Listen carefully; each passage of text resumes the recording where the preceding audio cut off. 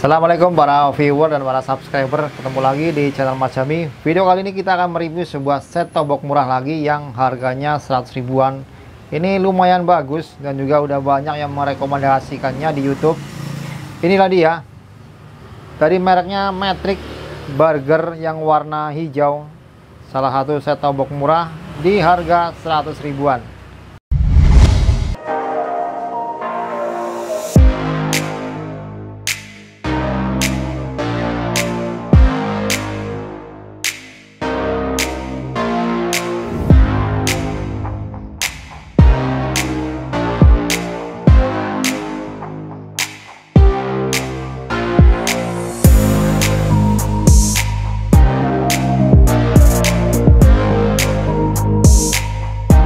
dapat remote standar ya. Kabel RCA sama seperti yang lainnya. Kertas petunjuk pemakaian ini jadi satu dengan kartu garansinya. Dia nih nah seperti ini. Jadi kartunya petunjuk pemakaian dan garansi jadi satu selembar begini. Nanti kalau mau diklaim disobek saja di sininya. Dan ini dia receivernya bodinya sudah kaleng ya tidak seperti yang lainnya masih pakai plastik. Untuk paket penjualannya set tobok ini nggak jauh beda dengan set tobok yang murah-murah lainnya. Cuman dilengkapi dengan remote buku panduan dan juga set toboknya. Jadi tidak ada kabel HDMI ya dalam paket penjualannya. Itu untuk HDMI nya harus beli terpisah. Untuk tombol bagian depannya ini lumayan lengkap ya. Jadi ini lumayan banyak ada tombol power di sini. Tombol volume atas bawah. Tombol menu. Tombol uh, pencarian kiri kanan. Dan juga tombol OK jadi tombol ini fungsinya kalau remote rusak bisa diprogram melalui tombol ini. Jadi ini lumayan lengkap tombolnya. Di bagian sampingnya ada port USB sini ada sensor infrarednya dalam situ. Tuh kelihatan ya. Sini ada LCD displaynya di bagian belakangnya ada antena in dan juga antena lob. Jadi ini bisa digunakan satu antena untuk menggunakan dua receiver ya. Inputnya di sini dan antena outputnya di sini. Ada port USB lagi di bagian belakang. Ini port USB-nya jadi dia ada dua ya. Jadi USB-nya ini bisa digunakan untuk PVR atau merekam uh, siaran televisi ke flash disk atau ke hard disk bisa juga digunakan untuk memutar media player seperti video, musik, ataupun gambar dan juga foto-foto gitu ya. Konektor HDMI, cuman sayangnya dalam paket penjualannya tidak disertakan kabel HDMI-nya ya. Jadi kita harus beli terpisah. Konektor RCA buat TV kalian yang belum support HDMI bisa menggunakan konektor ini ya. Untuk colokannya langsung dicolokin ke steker PLN ya. Jadi tanpa adaptor ekstra lagi nah begini. Dia langsung colok ke listrik tanpa adaptor tambahan lagi. Untuk casingnya di bagian atas ini sudah ada ventilasi udaranya. Bodinya juga udah kaleng. Di bagian samping juga ada ventilasi udaranya. Di bagian bawah juga sama ada ventilasi udaranya. Untuk instalasinya saya hanya menggunakan kabel HDMI saja ya. Ini saya beli terpisah di toko online paling cuma 10 ribuan sampai 20 ribuan jadi kabel RCA ini tidak saya gunakan karena ini lumayan ribet ya banyak kabel.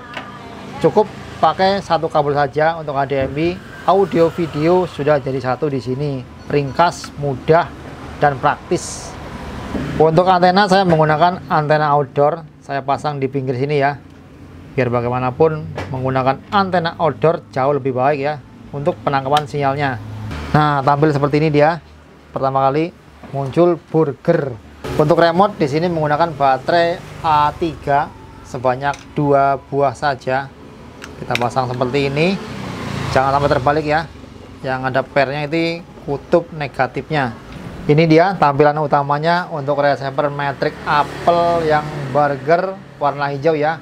Ada menu instalasi YouTube, program pengaturan, YouTube Kids juga ada, video, WTV, WiFi, USB musik upgrade dan juga ada menu EPG nya di sini ya jadi menu EPG ini untuk menampilkan jadwal siarannya untuk TV-TV tertentu gitu untuk software informasi di sini brandnya Matrix modelnya Burger di VVT2 Untuk software versinya versi 2,5. Hardware infonya di sini memori internalnya 4 MB dan RAM-nya di sini 64 MB.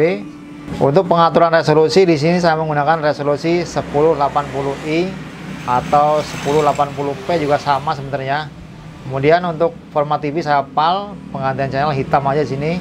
Untuk pencarian channel saya menggunakan sistem scan otomatis saja ya. Di sini FTA only saya pilih semua negara Indonesia, daya antena kita off kan kemudian kode pos kita sesuaikan aja dengan wilayah masing-masing kemudian kita scan secara otomatis saja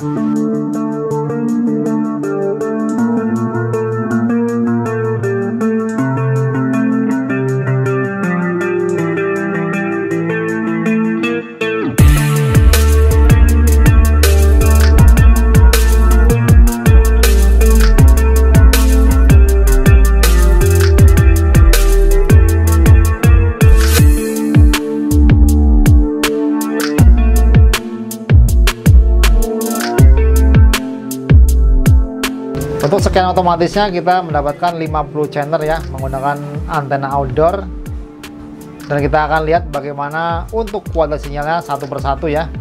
Untuk TVRI Sport HD mendapatkan kekuatan sinyalnya 80% dan kualitasnya 65%. Untuk RTV kekuatan sinyalnya mendapatkan 85% dan kualitasnya 78 sampai 80%. Untuk Kompas TV mendapatkan kekuatannya 89% dan kualitasnya 84%.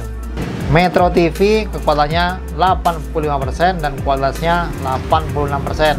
Untuk MNC Group kekuatannya 84% dan kualitasnya 77%. Indosiar kekuatannya 89% dan kualitasnya 84%. Grupnya Trans TV kekuatannya 85% dan kualitasnya 70 sampai 80%. TVRI DKI kekuatannya 87% dan kualitasnya 84%. Terima kasih, inilah review singkat saya untuk receiver Matrix burger yang warna hijau.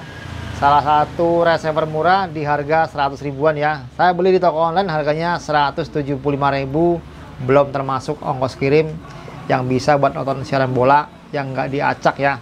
Terima kasih, semoga bermanfaat ya. Bisa nonton bola gratis tis. Salam youtuber